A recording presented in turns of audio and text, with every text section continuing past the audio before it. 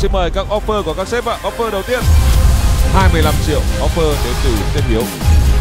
Cũng là 25 triệu. Sếp cũng đã nhìn được rằng là em sẽ phát triển mạnh về bên mảng B2B. Theo em tìm hiểu thì em được biết được rằng bên mình chưa làm về bên chuỗi nhượng quyền ạ. là đây là một cái khác biệt về ngành đối với cái mức lương anh đưa offer cho em ấy nó là một mức lương cứng khá là cao trong cái level của vị trí đó nếu như chúng ta hôm nay có thể có điểm chạm với nhau em có đồng ý sẽ kiêm nhiệm thêm cái vị trí đào tạo sale không ta sẽ cùng xem là mức lương kỳ vọng của bạn là bao nhiêu.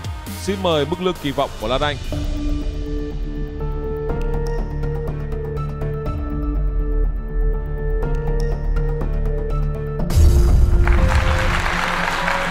hai mươi tám triệu. Vâng. Và bây giờ chúng ta sẽ đến với phần hồi hộp hơn. Bây giờ chúng tôi sẽ mời các offer của các sếp ạ. Offer đầu tiên.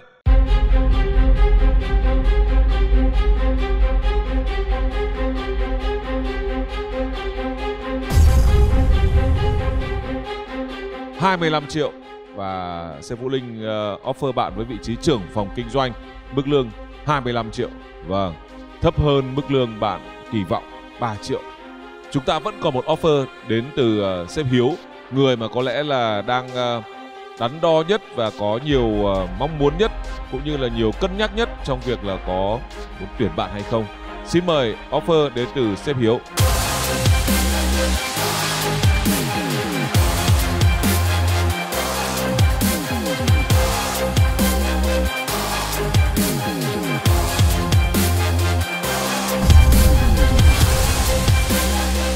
Là 25 triệu vị trí mà sếp Hiếu offer bạn đó là ASM khách hàng doanh nghiệp.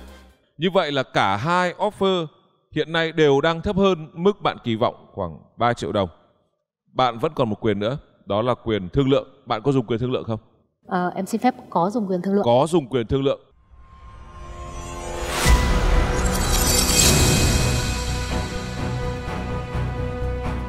Xin mời bạn trở lại sân khấu để sử dụng quyền tư lượng của mình.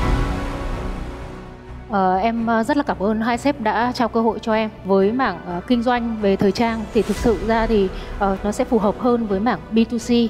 Uh, chính vì vậy nên là em xin phép là lựa chọn sếp Hiếu và em sẽ triển khai với mảng B2B ạ. Thì với cái việc mà uh, sếp cũng đã nhìn được rằng là em sẽ phát triển mạnh với bên mảng B2B là cái mà đầu tiên mà có thể đánh giá. Theo em tìm hiểu thì em được biết được rằng bên mình chưa làm về bên chuỗi nhượng quyền ạ và với mảng triển khai với chuỗi nhượng quyền của Bảo Ngọc ạ thì cũng sẽ tương tự giống như là tiệp khách hàng B2B của em ạ. Nếu thực sự sếp có quan tâm đến ý tưởng đó và thực sự là muốn rằng em sẽ là người đồng hành cùng với doanh nghiệp ạ thì em xin phép là sẽ thương lượng rằng là với mức lương à, 28 triệu em sẽ xây dựng cũng như là đồng hành cùng với lại bên doanh nghiệp.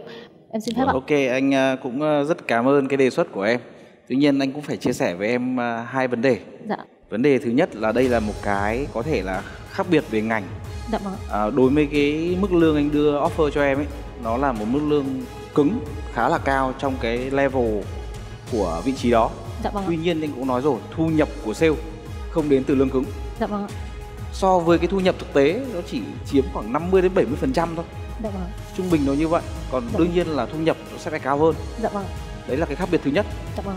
cái khác biệt thứ hai thì ờ, trong chiến lược kinh doanh của Bảo Ngọc sẽ không phát triển nhượng quyền hiện tại cũng đã có một kênh là khách hàng doanh nghiệp rồi Dạ vâng. và muốn mở rộng đẩy mạnh hơn nữa Dạ cái kênh vâng. này em có thể offer ờ, thêm kiêm nhiệm thêm một cái vị trí nào đó anh cũng thấy là những cái kiến thức về đào tạo định hướng cho team sale của em khá là ok Dạ vâng. nếu như chúng ta hôm nay có thể có điểm chạm với nhau em có đồng ý sẽ kiêm nhiệm thêm cái vị trí đào tạo sale không Ờ, em sẽ là giảng viên nội bộ liên quan đến việc đào tạo đội ngũ kinh doanh ạ.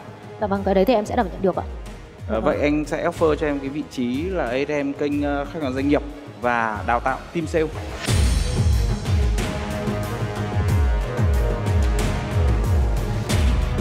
Anh đồng ý ở cái mức ờ, offer của em 28 triệu.